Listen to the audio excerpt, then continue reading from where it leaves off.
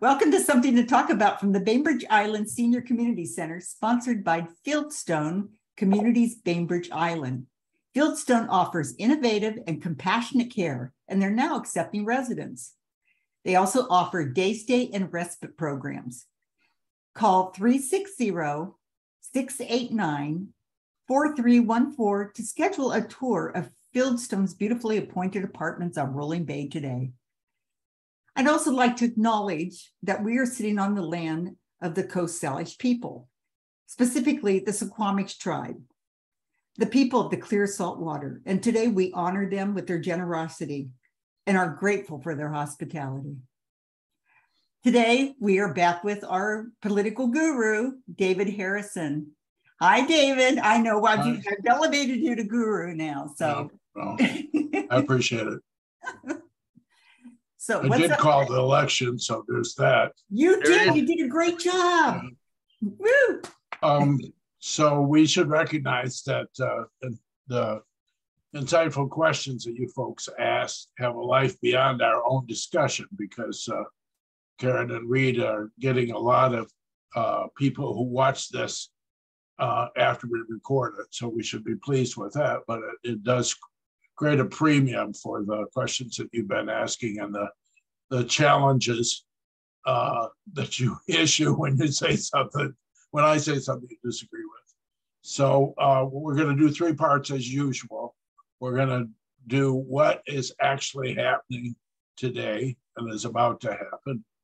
Then we're going to talk about what it means for uh, government for the next year, what's going to happen in Congress.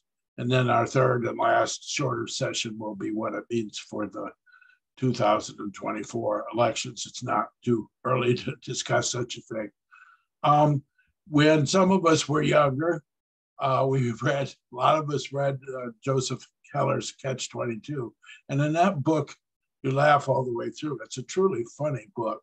And then you realize at the end of the book that it's you're not laughing at people, that the joke is on all of us. And that's true. I mean, what's going on is preposterous, but it affects how the House of Representatives will play its role this year. So, uh, as preposterous as it is, it is, uh, it's also a little bit heartbreaking, and I'll explain why.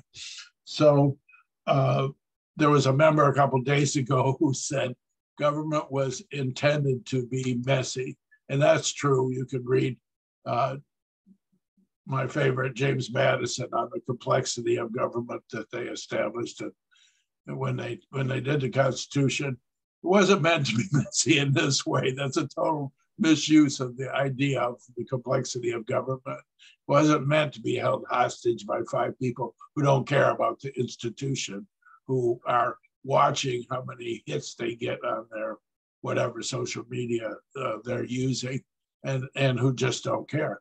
Um, and who, in fact, use it as a fundraiser.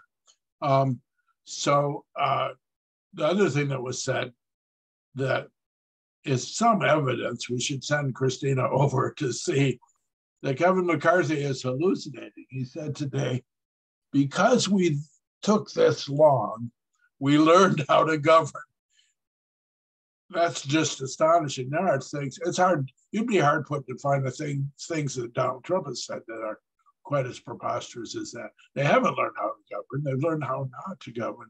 And besides, the House of Representatives doesn't govern anyway. They're, they have a shared responsibility. Um, so I think we should. There's a lot of press narrative about how they how the it, see, it seems like Kevin McCarthy by midnight will be Speaker. Um, as you know, in the 14th vote, there were only six people who didn't vote for him, and he, if that was five or four, depending on the total number of votes, he'd be fine. What can happen is those last people can vote present. And then at this last vote just now, 214 to 212, that would be all he needs. He needs 50% of those voting. Uh, so if they vote present, they're not counted in that 50%. So, so that would do it for him. And that's what they'll try and get from those last folks. they've cut a, a huge deal that's gone beyond what was reported two days ago. So we need to talk about what's in it. But let's the press narrative has been how it either it would be crazy for anybody to debase themselves as much as Kevin McCarthy uh, has done to get a job that now is worthless. That's not true at all. This is why it's not true. Even with the concessions he's made, which are huge, uh, it's a the it's a it's a very powerful position, more powerful than Senate Majority Leader, just because of the way the individual senators have prerogatives. Um, so even with the deal, even with one member being able to basically do a vote of no confidence, Kevin McCarthy still wants to be Speaker, uh, and has had for a long has for a long time. But let me tell you, it's still worth something, and I'll explain why. Um, we should, before I say why I think it's still worth something, a lot. Um, let me note that we did this. So when when we didn't allow the surge, if we if the surge had happened and Kevin McCarthy had taken 20 seats back, then six or eight people would have been allowed uh, the opportunity to vote against him with relatively minor recriminations. It's just the way it works. So they get to play to their public and say they don't like Kevin McCarthy and or that they are holding out for this or that. But because they only won eight or nine, uh, he doesn't have enough of a margin. So in a way, it's kind of like the leverage that was provided uh, Joe Manchin, Kyrsten Sinema. But at least they were arguing over public policy. They weren't arguing over, you know, uh, uh, this is just awful. Um, so we created a situation intentionally where the fringe would have greater power, and that will be painful for a while, but it helps us set up nicely for 2024. One of the reasons why we can sleep at night lately is the president of the United States uh, is not Donald Trump, and we don't need a recurrence of such things. So politically, this awful thing could turn out to benefit us what you're remembering is in the Senate, it's relatively easy to get together a coalition of senators who can force a, a floor vote on this or that amendment. The hold of the speaker, uh, because there's 435 of them in the House, the role of the speaker in framing what gets offered is uh, what goes to the floor and how uh, opposition can be offer alternatives.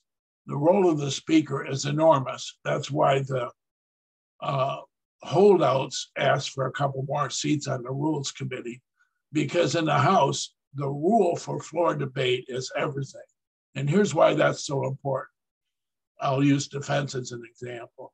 There are more Republicans that would give Vladimir Zelensky virtually anything he wants than there are Republicans who would shut him down. But this group uh, has gotten some concessions from uh, McCarthy with regard to what his official position would be on how those issues will be considered, budget issues. I'll go into that a little bit more. So, what I'm noting is the Speaker of the House has a powerful role in, in uh, doling out favors in committee assignments.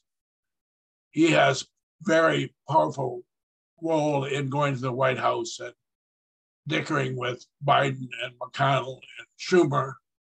He has enormous power to determine whether uh, different Republicans than these can frame an adjustment to uh, to what is being proposed by a committee on the floor. And that's the rule. That's what's that's when they say the rule. It's the rule means the discussion as to um, uh, what debate will ensue. In the Senate, sometimes in appropriations, they they pass a rule that's a vote-a-rama. and everybody has five minutes and they can do this or that amendment. And Schumer's trying to hold the line on things that otherwise might seem sensible. They don't have that in the House. If you're a junior member of the House, your chance to influence how something is going to be framed on the floor is virtually zero. And the power of the speaker and his hedge people is enormous. And and uh, that's why they negotiated some members of the Rules Committee and that's why they were so detailed in what they got McCarthy to promise, because when push comes to shove this year, there'll be an enormous ballot, enormous debate over the, the, the debt limit and associated budget cuts. And the majority of Republicans, though very conservative, don't want to shut down the government. I promise you, it didn't work last time. It never works. You can I can prove to you that every time Republicans get two days from shutting down the government, uh, that they're going to pull 30 to 70 on that. And that the majority knows that. But what uh, these folks have done is tried to tie McCarthy in knots as to how he deals with that issue because they didn't like the omnibus spending bill that was just passed that Mitch agreed to. McCarthy went to them and said, please, please, please don't pass a bill that covers spending through next September. Please don't do it. Get, let us have some leverage. And McConnell said to him, I don't even know whether you can organize your caucus. So I'm not going to do that. I'm not going to have it be a January debate. So they passed a 17 trillion dollar spending bill with a huge increase in defense spending, which allows flexibility with Zelensky. And uh, Republican conservatives are mad about that.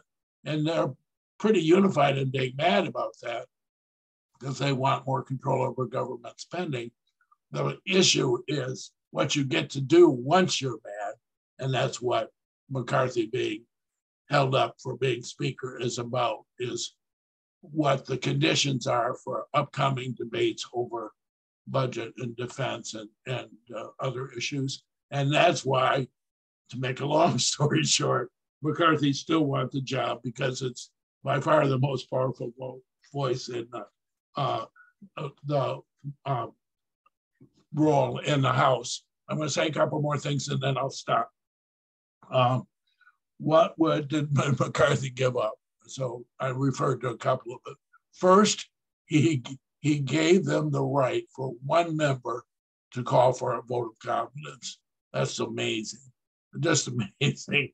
But here's why it's not quite as bad as the press is making it. McCarthy all along has had a strong majority of Republicans, and Hakeem Jeffries isn't going to participate in the overthrowing of the speaker. So it's all in whether you continue to roll your, uh, you continue to lead your caucus and they can call for votes of no confidence until the cows come home and McCarthy will be able to roll out his majority. Of course, it's what cost Boehner his speakership, but Speak Boehner was much, much more of a centrist than McCarthy has ever dreamed to be. Um, so why didn't these Republicans who didn't support the insurrection, this particular January 6th insurrection, why didn't they go into cahoots with passes for moderate Democrats? It was never close. There was a discussion about whether Fred Upton, who's retiring as a congressperson from Michigan, a moderate Republican, could draw enough uh, Democratic votes to become Speaker. It's not even close. Remember, these are not moderate Republicans who are voting for McCarthy. They are other conservative Republicans, most of them MAGA Republicans, quite a few of them who voted to not certify the election. They differ with these, the Chip Roy group, uh, tactically. They're not enormous differences in terms of underlying politics. There are quite a cohort of defense hawks, Zelensky hawks, but on the general issues of budget and social policy, immigration, there's not much distance, and there's a huge distance between them and moderate Democrats. So they were never going to do that. The other reason why they weren't going to do it is it would be permanent death. if you were a Republican that organized the speakership through a coalition, which might have happened 30 years ago, back when I worked out there, you're that would you would not be elected again. And you just wouldn't. That would not that would be seen as traitorous. So that wasn't going to happen. The other issue we asked, of course, two other issues, and then I'll stop for a minute. One is um, why is this happening to Kevin McCarthy when it never happened with Nancy Pelosi when she had progressives, AOC, and the squad and all that?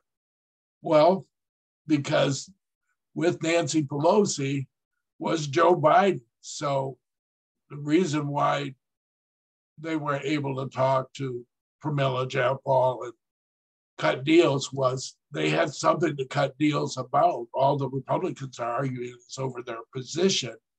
Um, they were consulting privately with AOC and Pramila and others over, you know, the nature of the climate incentives or or what the child care tax credit, child tax credit looked like. So there was a reason for progressives to stay on uh, allied, and that is because of what Joe Biden ended up passing, which is the best set of legislative measures since the New Deal. Um, so that's why they wouldn't flee. And of course, Kevin McCarthy, since he's not the president isn't allied with him, didn't have anything like he could offer them on the policy front. It's just a battle over what position they're going. And then the question you would ask is there are 50 or so members of the Problem Solvers Caucus, including it's equal number of Republicans and Democrats. Uh, Derek Kilmer is involved as he should be.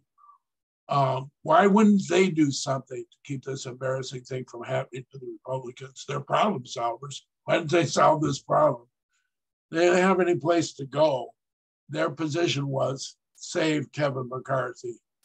Um, Kevin McCarthy and the the battlers over this, the Chip Roy and Matt Gaetz, always knew that those folks, if they threatened to coalesce with Democrats, weren't going to do it. So the reason the problem solvers weren't more powerful is they had no way to exercise that power. Now, when you get into session, it's a little different. It is true that Kevin McCarthy sets the rules for debate, but keep in mind that those defense hawks are not going to sit there and watch Putin, you know, roll into Kiev. It's not going to happen. So this is not the end of Republican debates. Um, so what else did uh, did Kevin McCarthy give them besides a no confidence vote? Seats on the Rules Committee. Looks like they're going to be a vote in the House on a term limits constitutional amendment, limiting House members to six terms and Senate members to two. Doesn't matter. We're not going to. That's not going to become a constitutional amendment. Um, a agreement that Kevin McCarthy will not spend money he raises on certain Republican primary battles. Uh, basically, not to shore up alleged moderates. And finally, but most importantly, all new agreement on McCarthy's position on the uh, debt ceiling and budget cuts, where he has promised uh, to argue for uh, 2022 uh, discretionary spending levels, which would mean taking $75 billion worth of defense spending back and limiting uh, Biden's uh, flexibility with Zelensky. So that's going to be the official position of the caucus as agreed to by the speaker. And as I noted, the speaker controls uh, the what gets offered for as floor amendments. So this is going to be really sticky when we get. To, I'll get to that the next session when we get to, when we get to the debt ceiling and budget for next year. Uh, they have got McCarthy committed to a position uh, that could even uh, include uh, them proposing Medicare and Social Security cuts, but certainly will account, include a huge battle over defense in the Ukraine. So I'll stop there. As you know, what I've covered the bulk of our talk is uh, why McCarthy would want this job and uh, what he's going to do now that he's got it. Questions, thoughts, concerns? Go ahead and unmute yourself if you have a question. Breathe.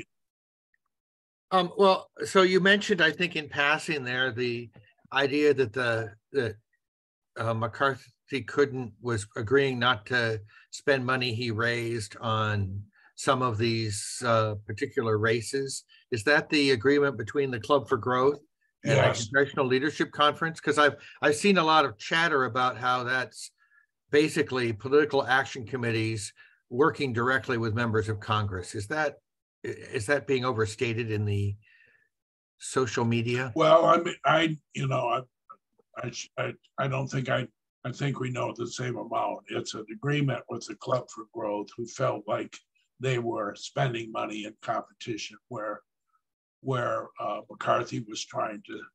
If McCarthy has some distance from McConnell, but they both believe that well, I'll give you an example in Washington that that uh, Joe Kent, McCarthy would never have wanted Joe Kent. Well, Mark McCarthy would have wanted Jaime Herrera Beutler to win, even though he helped with her demise. He did not. She quoted him as as being angry with Trump, which he was. He said, she, it's Jaime Herrera Beutler who said that McCarthy told Trump that people were trying to kill him. And Trump said, well, Kevin, maybe they cared more about the election than you did or something. At any rate, my point is Kevin McCarthy doesn't want wackos running for Congress, and Club for Growth does. I'm a little light on just exactly what races he promised not to spend on, and we'll learn more. But it's pretty unseemly for a speaker to cut a deal with an outside group where basically then they get to decide uh, uh, who is beyond the pale, and they're they're more. Ex- it may be another advantage for us because if they had represented some, if they had sent somebody to the ballot where Marie Gluesenkamp Perez won, who could, who what didn't want to try Fauci for murder, they would have won. So uh, it's in a way, it's to our advantage. Other questions, thoughts, concerns, insights, or insults? You know, I heard that three days prior to this session, um, they took the metal detectors out of the. They did.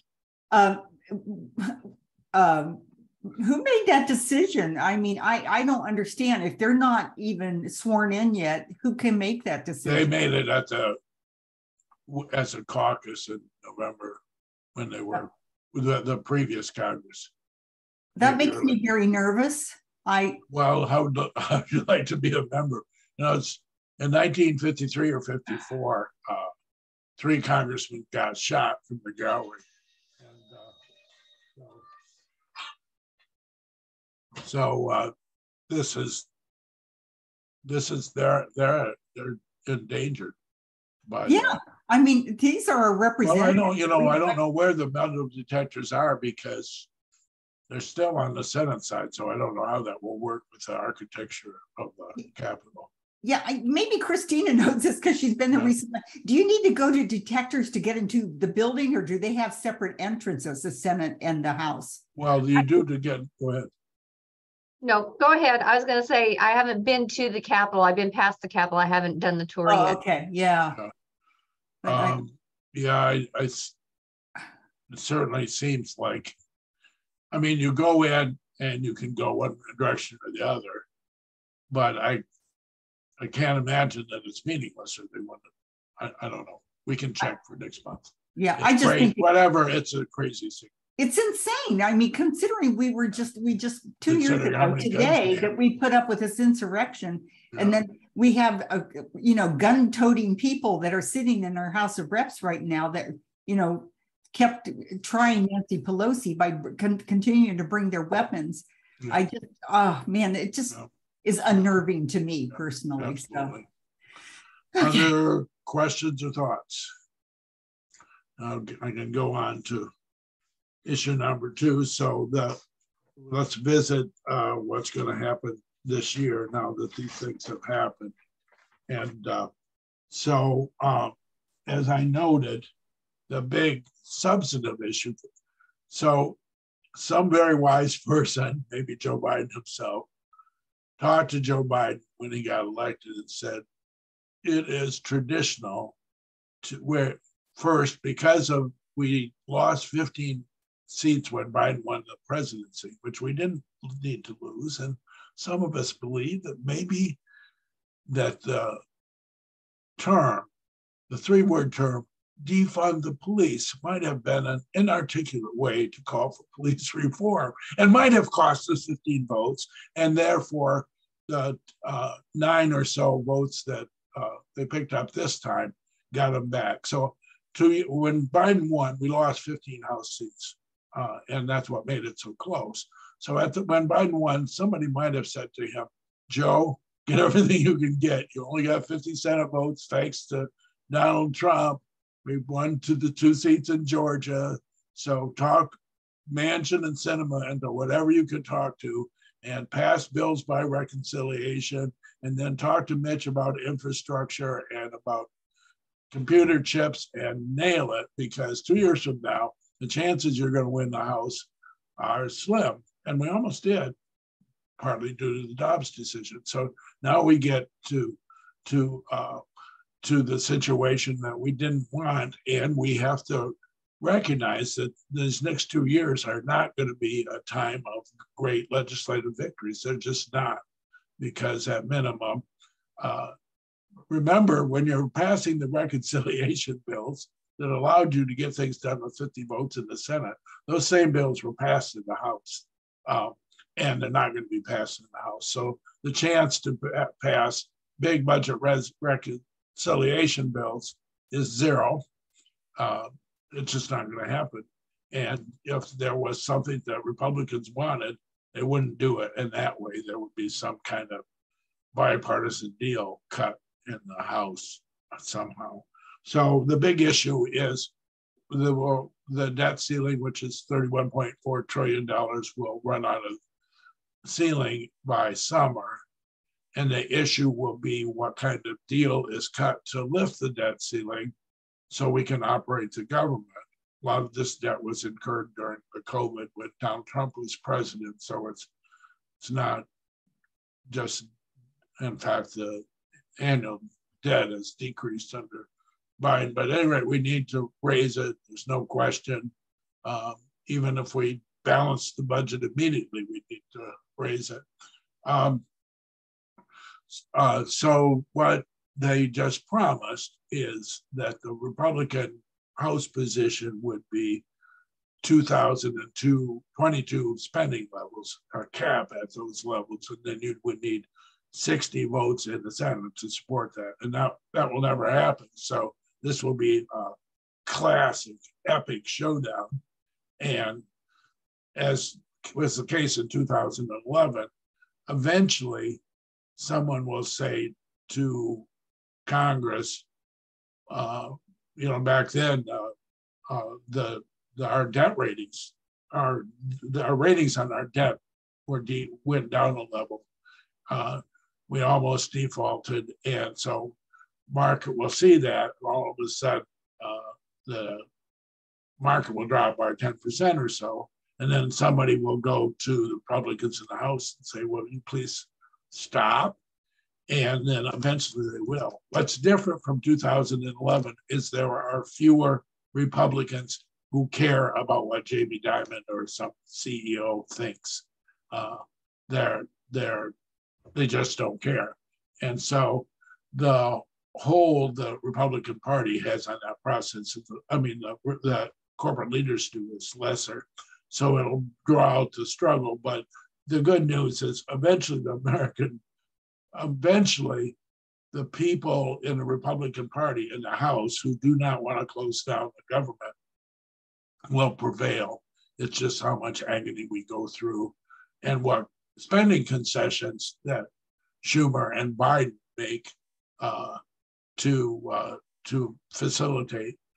What we do know is things that we did are safe. Infrastructure bill, uh, the climate incentives are are going to be there. What went the way of all flesh is unfortunately the child tax credit, which is done, which was lifting kids out of poverty. What else will be up this year? Uh, almost nothing. Ukraine support within and outside the context uh, will be up.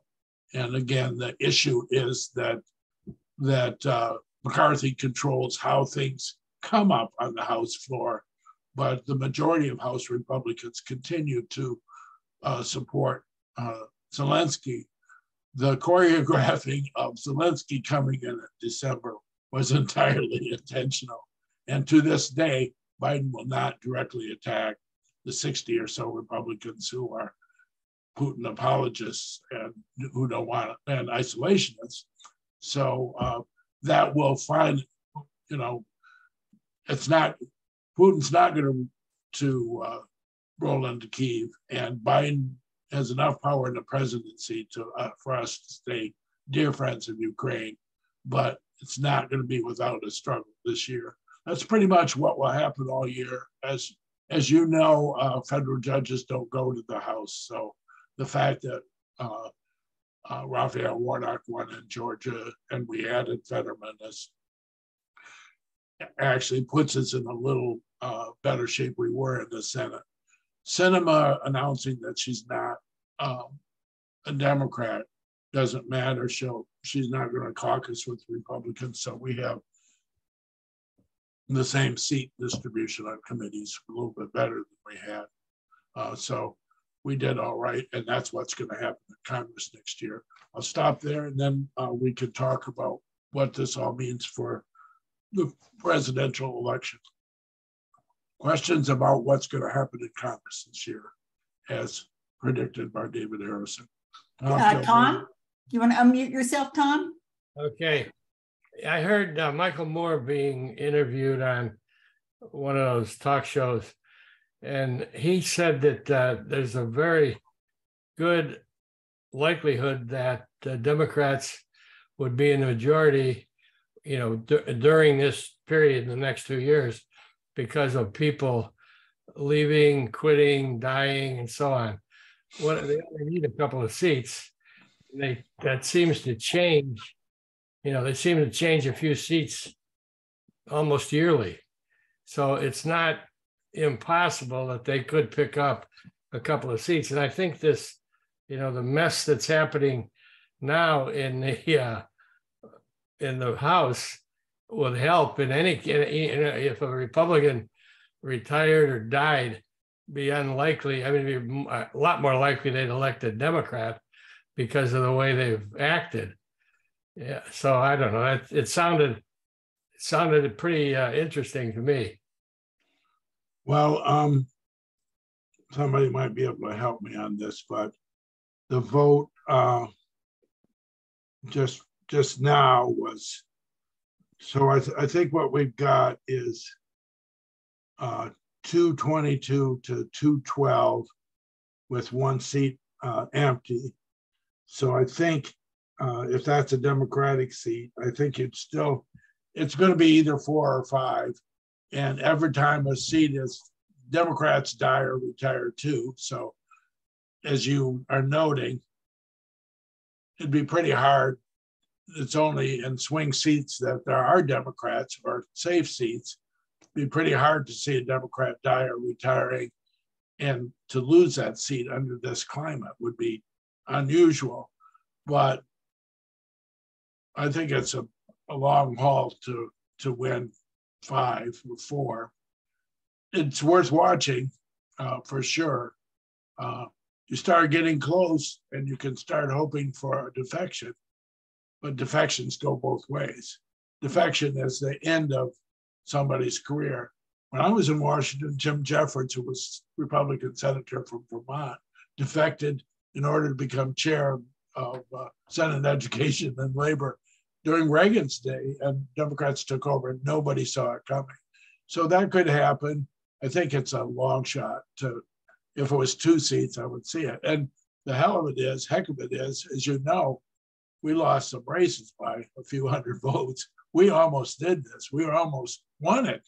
Uh, um, I do believe it's interesting. Uh, Tom, in our neck of woods, there's a new conservative from Kalamazoo that's a redistricted district, and uh, the the Democrat, not supported by DNC, and nobody paid attention to him, got 46.5%.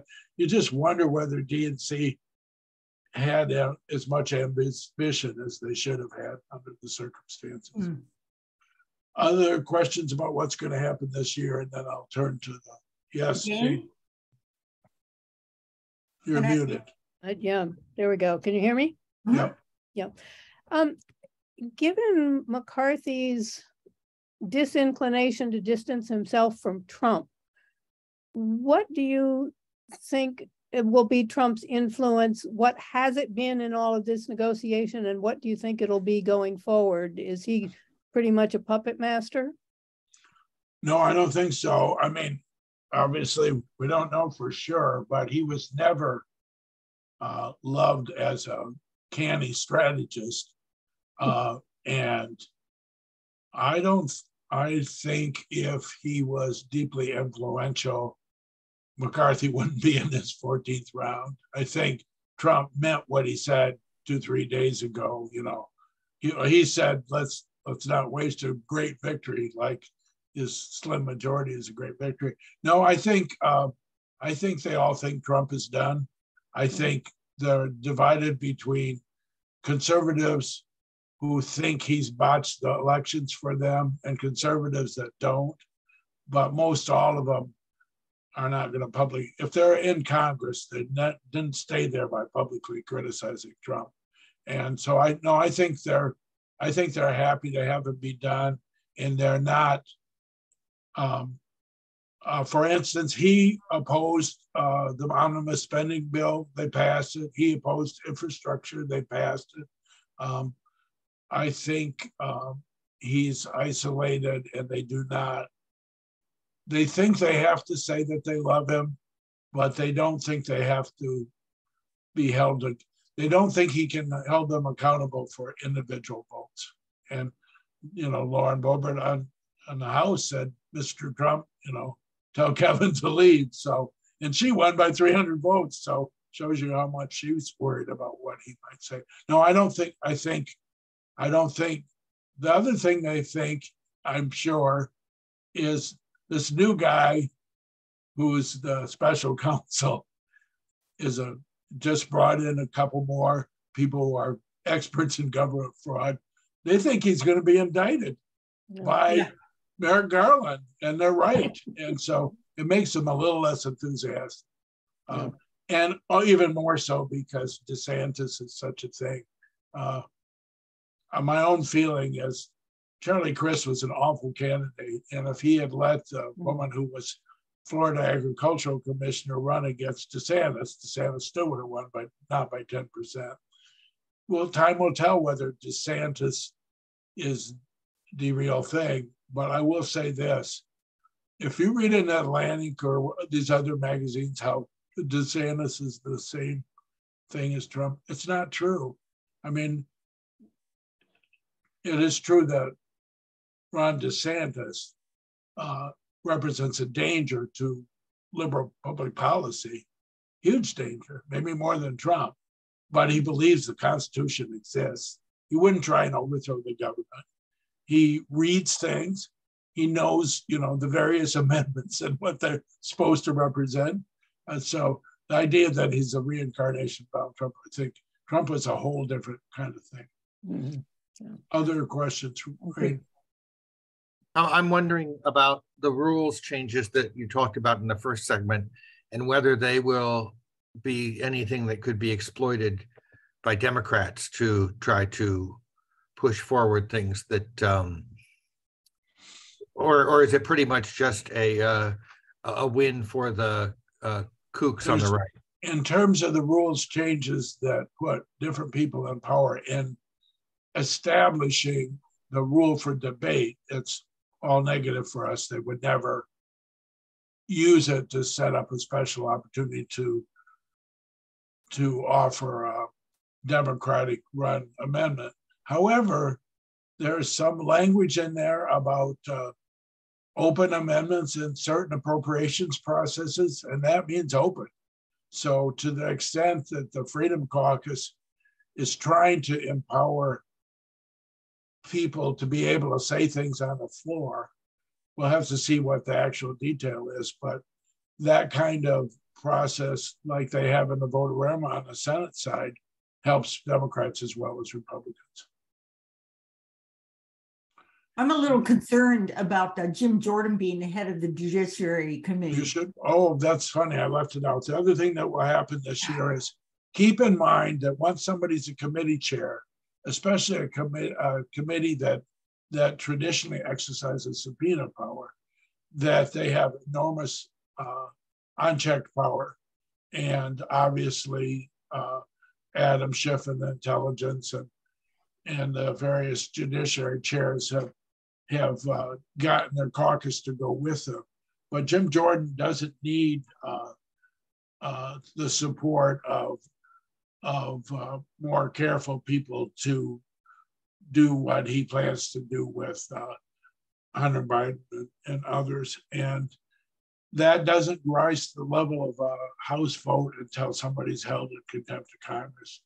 So, so you can do a lot of investigating and, and public uh, execution Mhm. short of the House vote, and nobody's going to rein him in. So you will see Hunter Biden and some, and maybe the immigration managers and some others uh, cooked uh, big time. And what you're hoping there is for classic Republican overreach. That's that's the only defense. Yeah, I mean, you're sitting and saying, I could refuse to testify. Well, they won't hold me in contempt of Congress. Well, the courts uphold it. We've been through that. But uh, I don't think, I think if they had a one vote majority and Jim Jordan was chair, he would still do that because he's Jim Jordan. yeah, exactly. So let's go to our last segment. Um, again, this is, uh, if there is good news, the, the, uh, it's that, uh, hold on, let me find out where I am. It would be good if I was on the right page. Huh. I, Um, I, I heard somebody say that they think that Jim Jordan might be the next Joseph, Joseph McCarthy. well, I mean, Killing to me. you know, if you said that to his face, he wouldn't reel it for. Yeah, he's a bad person. It's interesting because, as you, some of you who follow this know, Hakeem Jeffries is the, the new uh, minority leader. And, and, um, and now I'm forgetting the majority whip from Massachusetts, um, Kathleen Clark. Uh, and then Aguilar from California. So this is a good leadership team. Jeffries was interviewed the other day. He has no relationship with McCarthy at all. He has said very critical things of McCarthy, and he has a working relationship with Scalise. So it's funny, uh, not funny. It's heartening that that even exists. Um, when I was out there, it was common, and uh, but it's not so common now. But they're they don't make a big deal of it. But to this day, half of the business of Congress is is bipartisan. It's just the part you hear about that's not. You could still, Christina could go in in February to a markup session of some not very on science and technology or some committee and see people with their sleeves rolled up doing markup of of legislation, but not very much of it. But I'm just saying that still happens in Congress today. So let's go on to uh, to uh, the presidential election. This is what we know This is what I know that nobody else knows. Joe Biden's not running. I can promise you Joe Biden's not running for the same reason as I said last month. I know I'm 75, and similarly, he knows he's 82. Oh, you, he's going to be 82 when he runs. It's not hard to remember when you get out of bed in the morning that you don't necessarily want to fly to China that day, even in a nice plane. So, so that's what I'm thinking. I don't think he's running, and I hope he doesn't run because I don't think, I don't, I think we need a generational change. Now let's think about who's going to run. The thing is, if you're a Republican member of Congress, this is not helping you, even in the Senate. So Josh Hawley, Ted Cruz, they weren't going to run, win for anything anyway. But what you want to be, if you're a Republican or a Democrat, is a governor. So uh, Gretchen Whitmer said the other day she's not running. Uh, Josh Shapiro, Pennsylvania, or Gavin Newsom, or the new governor of Maryland, Asa Hutchinson, the Republican, and uh, Arkansas. There'll be lots of governors. Nikki Haley, former governor. Um, there's another thing going on. I think I mentioned before. Klobuchar has her Senate term is up. She'd have to give up being in the Senate to run. That'd be a stupid thing for her to do.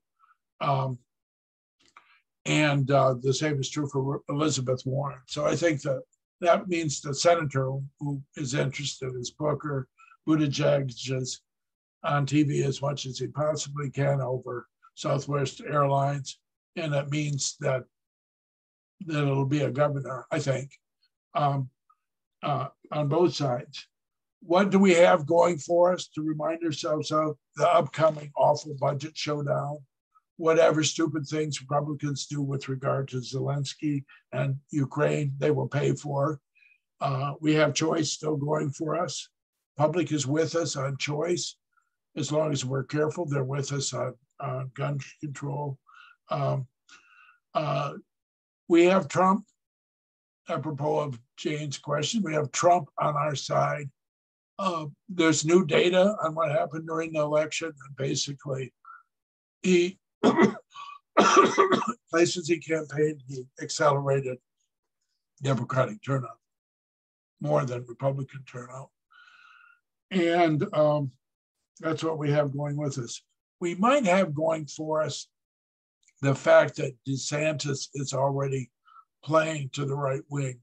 DeSantis is a strong candidate, but you don't run for these are winner take all prior, primaries, as I've noted, and you don't win them on the Republican side by tacking toward the center. What you do instead is you win it. Then, if you're going to tack toward the center try and win independent votes, which Trump was unable to do, um, you do it then. When DeSantis started going back after COVID vaccinations a month ago, that was puzzling to anybody who thinks he's going to try and win the center.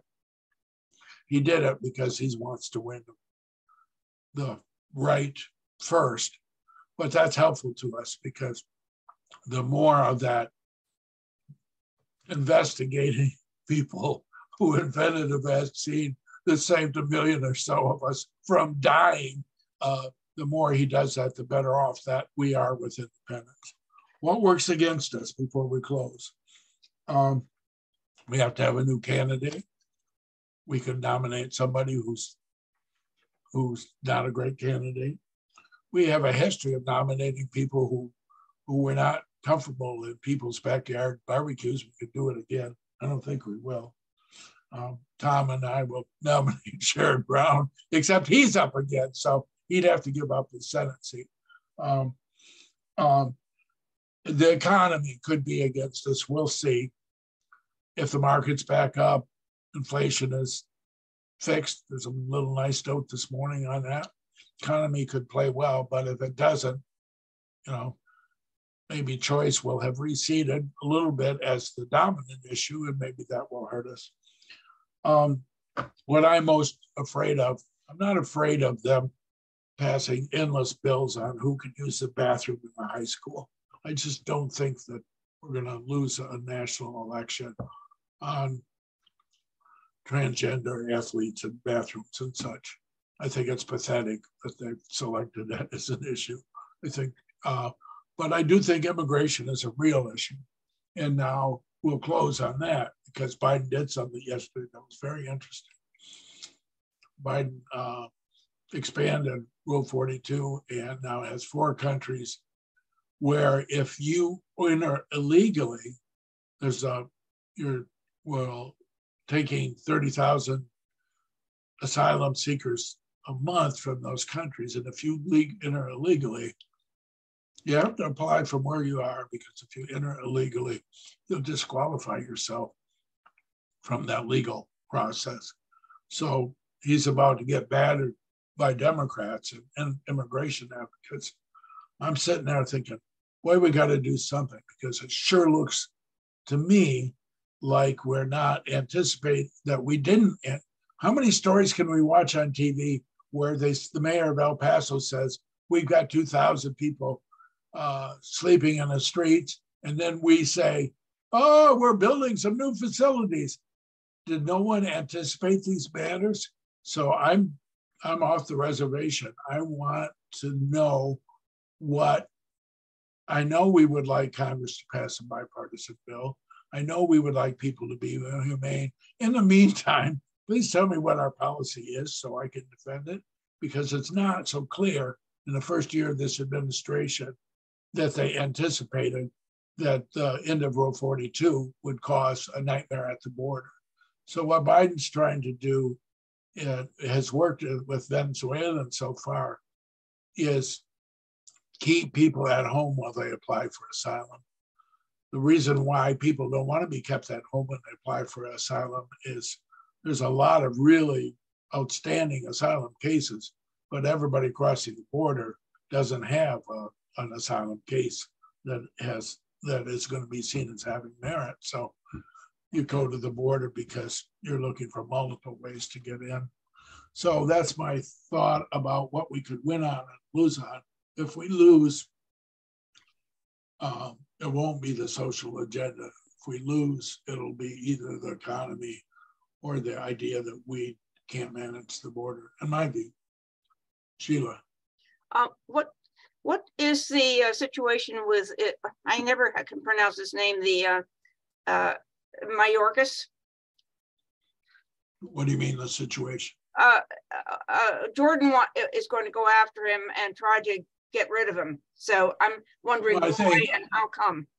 I think Biden will defend him as well as should, but to the extent that we haven't anticipated every thing that's happened at the border, including the expected end. I mean, Rule 42 in its COVID rule is preposterous. The Republican governors are saying, wait, we don't want people this in because of COVID when those same governors have been against vaccination. So obviously it's it needs to it's it's morally bankrupt rule. The issue is what we will do in its absence to to keep the border from uh, to have there be an orderly process for the uh, decisions on asylum. The thing with Mayorkas is absolutely they'll try and kill him, and if it gets too deadly, they'll fall on his sword and say, you know, my family depends demands my time. That'd be too bad because whatever we have or haven't done on immigration, this wouldn't be Mayorkas's fault.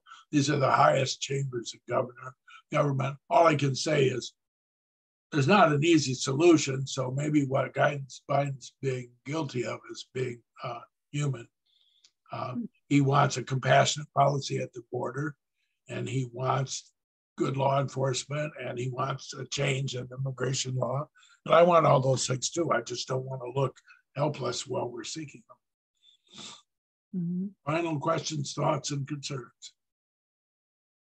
Do we have a good time or what? I just, I want, I had my hand up. I just wanted to add um, that actually the judiciary might be interesting to watch because didn't uh, they appoint Jamie Raskin, um, which is probably good insulation against maybe some of what Jordan's going to pull, right? I mean, he's good, right? Yeah. Who they appointed Jamie Raskin to do I, what?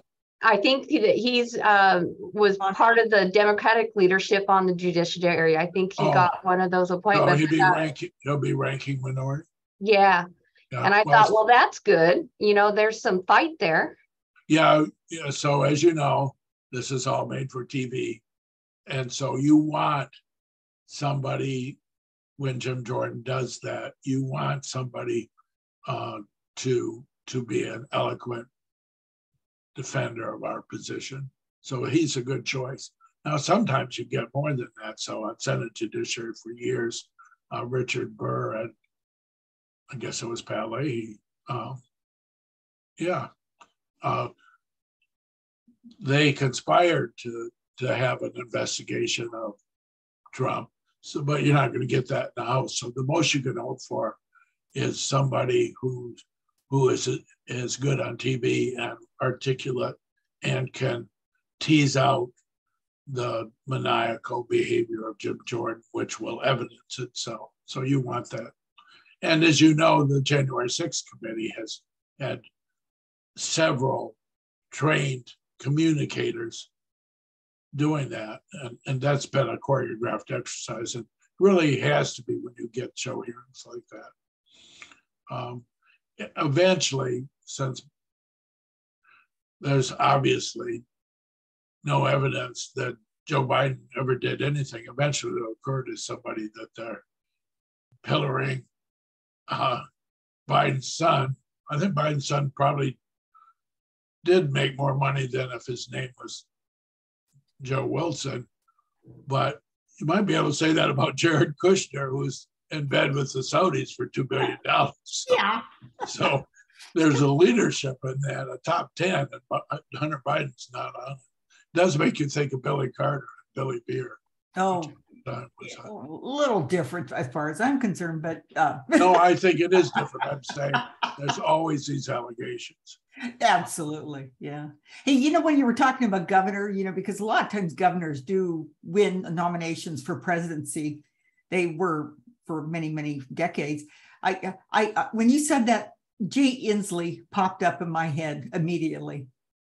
Um, I, I don't understand why he didn't do better uh, when in last time, but uh, what do you, anybody have? I used to ride the I used to ride the ferry with with him and and uh, a lot, and uh, I think I think he intended all along for it to be a great platform to get his name out and to draw attention to climate change. If I was advising Jay Inslee, which I am not, and he asked me my opinion on this matter, I think he made uh, a miscalculation. If I was him, I would have done those two things.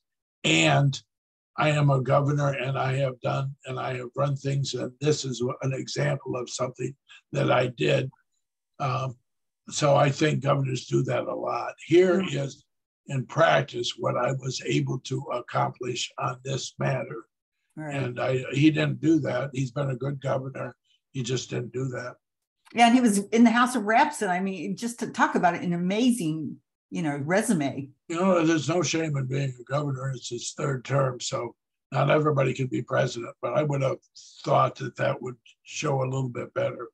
Uh, what happened, as you know, is Barack Obama decided that if we kept up like we were going, going heading after Super Tuesday, that we were vulnerable to uh, Trump. And it was Obama that talked to all those Democrats. All of a sudden, Biden went South Carolina. He hasn't done that well up until now.